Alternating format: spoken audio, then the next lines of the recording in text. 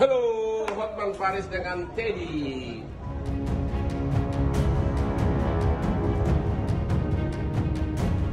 Heboh muncul bersama Hotman Paris. Benarkah Teddy Bardiana bakal gandeng pengacara kondang tersebut mengawal kasus Lina? Sampai ketemu ya. Teddy and Hotman Paris. Sebelum lanjut nonton jangan lupa klik subscribe-nya ya.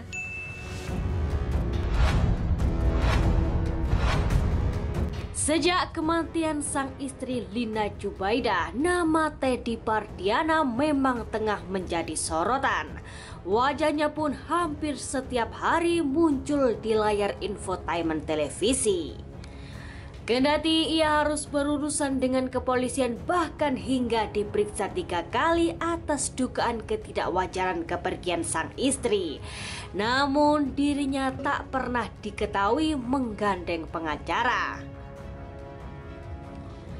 Kemarin Jumat 24 Januari 2020, Teddy kembali membuat heboh jagat maya. Dalam sebuah video yang beredar, ia tampak tengah bersama pengacara kondang Hotman Paris. Dalam video tersebut tampak Teddy mengenakan jaket berwarna putih merah dipadukan dengan celana hitam. Hotman sendiri mengenakan setelan jas nyentrik berwarna krim. Awalnya Hotman memperkenalkan Teddy sebagai suami Lina. Pengacara bertarif miliaran tersebut juga menjelaskan kedatangan Teddy untuk membicarakan tentang kepergian Lina yang menurut Teddy adalah murni sakit. Sontak saja melihat kebersamaan keduanya, warganet pun ramai-ramai bereaksi. Banyak warganet yang menduga Teddy bakal gandeng Hotman Paris untuk mengawal kasusnya. Namun tak sedikit warganet yang justru salah fokus dengan peci yang digunakan Teddy. Mereka pun berkomentar agar Teddy melepas peci tersebut karena beredar rumor jika peci tersebut ada unsur magisnya. Namun ternyata usut punya usut kedatangan Teddy tersebut sebagai bintang tamu acara sang pengacara. Jika benar ini adalah kemunculan pertama Teddy di suatu acara talkshow televisi.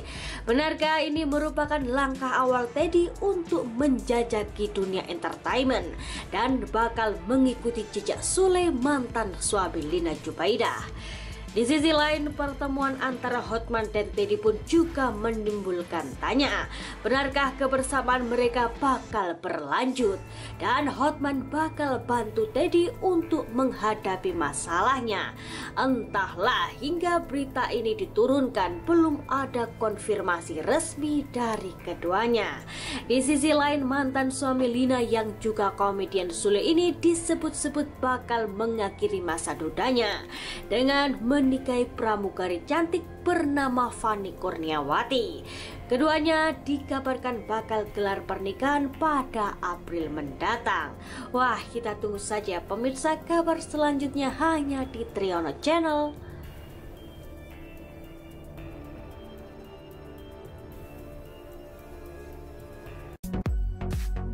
Jangan lupa subscribe.